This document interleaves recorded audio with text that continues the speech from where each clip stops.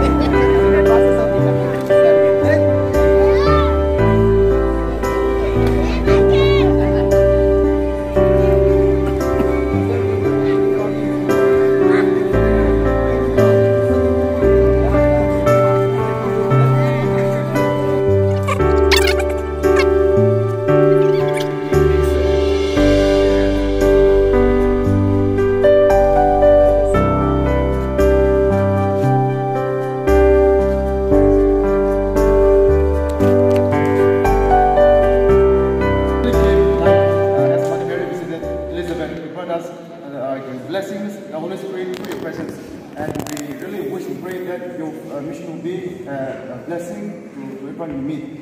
And now we have one more item that is we have one special number from Miss Anjali, so we give her the time.